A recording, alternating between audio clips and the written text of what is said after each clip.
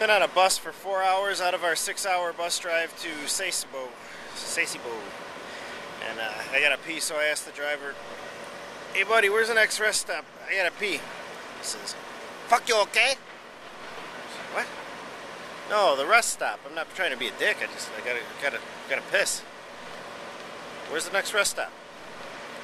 Fuck you, okay? Alright, fuck you. Go back to my seat, sit down. And then we pull into this place.